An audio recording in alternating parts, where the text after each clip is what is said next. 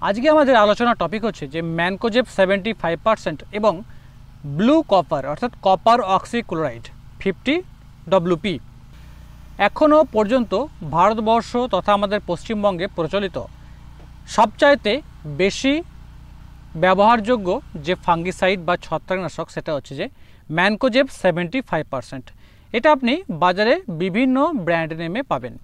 তার পাশাপাশি কপার অক্সিক্লোরাইডও ব্যাপক প্রচলিত, কিন্তু অতটা ম্যানকোজেব সেভেন্টি ফাইভ পার্সেন্টের মতো নয়। বাজারে আপনি ম্যানকোজেব সেভেন্টি ফাইভ পার্সেন্ট বিভিন্ন ব্র্যান্ড নামে পেয়ে যাবেন।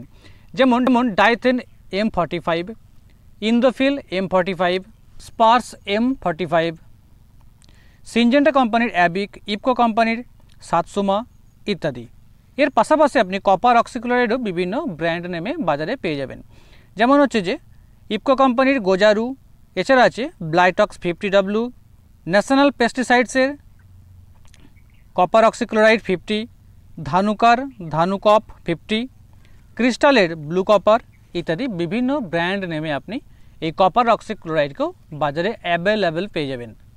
এই দুটোই হচ্ছে ব্রড স্পেকট্রাম ফাঙ্গিসাইড অর্থাৎ বিভিন্ন ধরনের ছত্রাকের উপরে এই ছত্রাকনাশক দুটি দারুণভাবে কাজ করে, এটা আজকে প্রমাণিত। এর পাশাপাশি কপার অক্সিক্লোরাইড ব্যাকটেরিয়ার উপরেও কিছুটা কাজ করতে দেখা গেছে। আমরা কোন কোন ছত্রাক ঘটিত রোগের উপরে আমরা এই কপার অক্সিক্লোরাইড এবং ম্যানকোজেব সেভেন্টি ফাইভ পার্সেন্টকে ব্যবহার করতে পারব একটু আমরা জেনে নেব।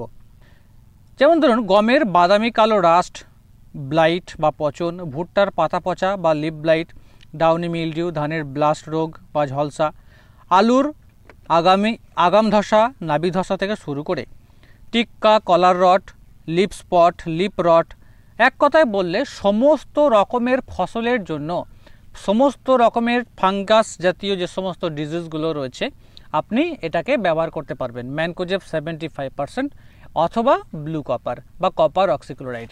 মানে আমি বলতে চাইছি যে যে কোনো ফাঙ্গিসাইড ব্যবহার করার আগে আপনি এই দুটোর মধ্যে একটাকে অবশ্যই অবশ্যই ব্যবহার করে দেখতে পারেন। বিভিন্ন ফাঙ্গিসাইডের আলাদা আলাদা ফাঙ্গাসের উপরে কাজ করার নিদর্শন থাকলেও, ম্যানকোজেব সেভেন্টি ফাইভ পার্সেন্ট এর কিন্তু যে কোনো ছত্রাকের উপরে কাজ করার একটা নিদর্শন এখনও পর্যন্ত ব্যাপকভাবে পাওয়া গেছে। অর্থাৎ সমস্ত রকমের ছত্রাকের উপর এটা কাজ করতে দেখা গেছে। তাই আজকে মার্কেটে ম্যানকো সেভেন্টি ফাইভ পার্সেন্ট সবচাইতে বেশি বিকৃত একটা ছত্রাকনাশক, যেটার সাইড এফেক্ট খুব কম অন্যান্য ছত্রাকনাশকের থেকে সবচাইতে আগে খুব তাড়াতাড়ি আপনার ফাঙ্গাসগুলোকে নষ্ট করে দেয়। ম্যানকোজেব সেভেন্টি ফাইভ পার্সেন্ট একবার প্রয়োগ করলে এর এফেক্ট দশ থেকে বারো দিন পর্যন্ত থেকে যায়। ঠিক একইভাবে কপার অক্সিক্লোরাইডেরও এফেক্ট মোটামুটি দশ থেকে বারো দিন কন্টিনিউয়াসলি থেকে যায়। তবে সবসময় আমরা একটা জিনিস বলে থাকি যে, খুব গুরুতর অবস্থা যদি সৃষ্টি হয় মানে রোগ যদি খুব মারাত্মক একটা পর্যায়ে চলে যায়, তখন আপনাকে কিন্তু, যেমন ধরুন আলুর নাভি ধসার মতো একটা প্রবলেম হ্যাঁ যেটা ব্যাপকভাবে যখন লেগে যায় তখন আমাদেরকে পাঁচ দিন অন্তর, দুবার পরপর অন্ততপক্ষে আমাদেরকে প্রয়োগ করতেই হয় এবং ডোজটা খানিকটা বেশি লাগে। এবার আমরা আসব যে কোন কোন ফসলের কি জন্য আপনারা ম্যানকোজেব সেভেন্টি ফাইভ পার্সেন্ট এবং কপার অক্সিক্লোরাইডকে আপনারা ব্যবহার করতে পারবেন। দেখুন, বলা হয়েছে সমস্ত রকমের সবজি, সমস্ত রকমের ফল, সমস্ত রকমের দানা শস্য, সমস্ত রকমের তৈলবীজ শস্য হ্যাঁ থেকে শুরু করে ডাল শস্য হ্যাঁ যেমন এছাড়া কার্পাস তুলো থেকে শুরু করে পাট থেকে সমস্ত রকমের ফসলে আপনি কিন্তু এই ম্যানকোজেব সেভেন্টি ফাইভ পার্সেন্টকে এবং কপার অক্সিক্লোরাইডকে অনায়াসে নিশ্চিন্তে চোখ বন্ধ করে আপনি ব্যবহার করতে পারবেন। ম্যানকোজেব হলো dithiocarbamate non systemic fungicide. এটাকে রোগ আসার আগেও আপনি প্রোটেক্ট্যান্ট হিসেবে ব্যবহার করতে পারেন এবং রোগ এসে গেলে আপনি কিউরেটিভ হিসেবে ব্যবহার করতে পারেন। খুব ভালো রেজাল্ট আপনি পাবেন। ম্যানকোজেবের মধ্যে ম্যানেব এবং জিনেব এই দুটোর সংমিশ্রণ দিয়ে এই ম্যানকোজেব তৈরি হয়েছে।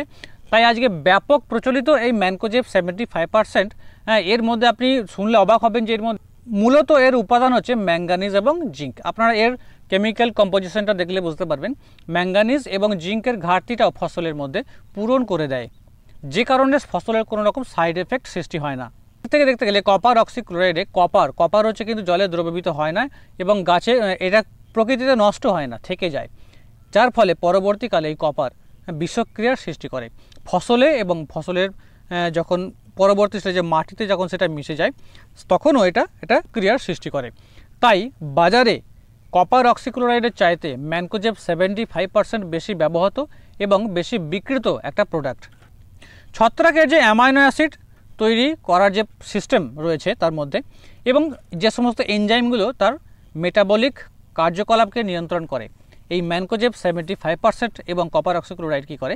সেইগুলোকে নষ্ট করে দেয়। সেগুলোকে ইনহিবিট করে।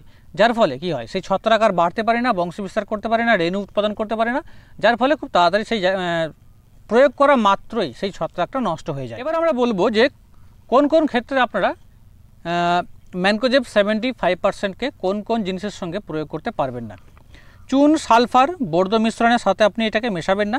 বাকি যে কোনো ভিটামিনস, লিকুইড সার পিজিআরের সাথে কিন্তু আপনি অনায়াসে যে কোনো ইনসেকটিসাইডের সঙ্গে বা অন্য কোনো ছত্রাকনাশকের সঙ্গেও আপনি এটাকে পাইল করে স্প্রে করতে পারেন, কোনো অসুবিধা নেই।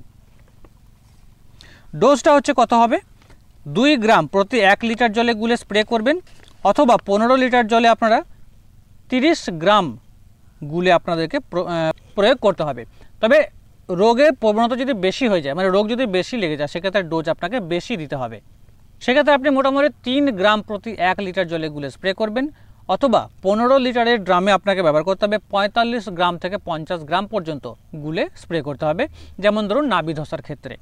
গত বছর যেভাবে নাবি ধসা ব্যাপকভাবে লেগেছিল, তাই চাষিরা পঞ্চাশ গ্রাম পঞ্চান্ন গ্রাম, কেউ কেউ ষাট গ্রাম পর্যন্ত ডোজ দিয়েছে। তবে আমি বলব মোটামুটি পঁয়তাল্লিশ থেকে পঞ্চাশ গ্রাম ম্যাক্সিমাম বেশি প্রবণতা রোগের দেখা গেলে তখন আপনি দিতে পারেন, খুব ভালো রেজাল্ট পাওয়া যায়। আমি নিজে দেখেছি এটাকে ব্যবহার করে। আর কপার অক্সিক্লোরাইড আপনাকে ব্যবহার করতে হবে দুই গ্রাম প্রতি এক লিটার জলে গুলে অথবা পনেরো লিটারের ড্রামে আপনি তিরিশ গ্রাম পর্যন্ত গুলে কপার অক্সিক্লোরাইডকে ব্যবহার করবেন, খুব ভালো রেজাল্ট পাবেন। ঠিক একইভাবে রোগের প্রবণতা বেশি হলে আপনি দুই থেকে আড়াই গ্রাম পর্যন্ত কপার অক্সিক্লোরাইডকে দিতে পারেন। একটা জিনিস সাবধান থাকবেন কপার অক্সিক্লোরাইড জলে জলে কিন্তু একেবারে গলে না কপার থেকেই যায়। এবং বিষক্রিয়া কিন্তু এর অনেক বেশি হ্যাঁ? তাই আমি বলব আপনাদেরকে কপার অক্সিক্লোরাইডকে ব্যবহার না করে আপনারা ম্যানকোজেব সেভেন্টি ফাইভ পার্সেন্টের ওপরে বেশি ঝুঁকতে পারেন। সাইড এফেক্টও কম আপনার ফসলেরও ক্ষতি হবে না ফসলেরও সাইড এফেক্ট হবে না হ্যাঁ? উল্টে আপনার যেহেতু ম্যাঙ্গানিজ এবং জিঙ্ক রয়েছে তাই খুব ভালো আপনার রোগ প্রতিরোধ ক্ষমতাটাকে গড়ে তুলতে সাহায্য অক্সিক্লোরাইড আপনারা এর কেমিক্যাল কম্পোজিশনটা দেখলেই বুঝতে পারবেন যে ডাইকপার ক্লোরাইড টাইহাইড্রো অক্সাইড এর মধ্যে রয়েছে। এর মধ্যে দেখুন, আপনারা কপার এবং ক্লোরিনকে দেখতে পাচ্ছেন। এই কপার এবং ক্লোরিন দুটোই কৃষিক্ষেত্রে, এমনকি পশু পাখিদেরও, এমনকি মানুষেরও সাইড এফেক্ট সৃষ্টি করে। তাই কপার যেহেতু হেভি মেটাল, তাই এর সাইড এফেক্ট খুব বেশি এবং ছত্রাকনাশক হিসেবে তাই ম্যানকোজেব ও কপার অক্সিক্লোরাইডের মধ্যে যদি আপনি তুলনা করতে বলেন, আমি আপনাকে ম্যানকোজেব সেভেন্টি ফাইভ পার্সেন্ট ব্যবহার করার জন্য বলব। তো ফ্রেন্ডস ভিডিওটা ভালো লাগলে লাইক করবেন, বন্ধুদেরকে শেয়ার করবেন। আর এই ধরনের গুরুত্বপূর্ণ ভিডিওগুলো প্রতিনিয়ত আপডেট পাওয়ার জন্য আমাদের চ্যানেলটিকে সাবস্ক্রাইব করে রাখবেন। অনেক অনেক ধন্যবাদ।